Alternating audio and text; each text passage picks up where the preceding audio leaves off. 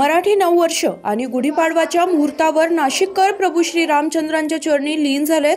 आज गुढीपाडव्याला पहाटेपासून भाविकांची पंचवटी येथील गोदाकिनारी असलेल्या श्री काळाराम मंदिरात दर्शनासाठी गर्दी करत आहेत. तर आजपासून वासंतिक नवरात्र उत्सवाला देखील सुरुवात झाली आहे. या काळात उत्सव समितीच्या वतीने आठ दिवस विविध धार्मिक आणि सांस्कृतिक कार्यक्रमांचे आयोजन करण्यात येणार आहे. दरवर्षीप्रमाणे यंदा देखील हा सोहळा मोठ्या भक्तिमय वातावरणात संपन्न होणार आहे.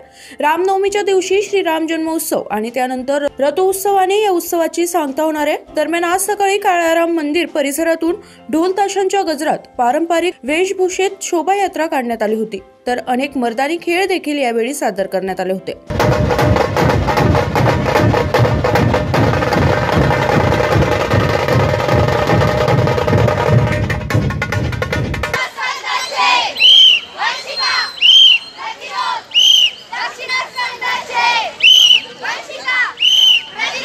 Nine news Maharashtra bureau Nashik.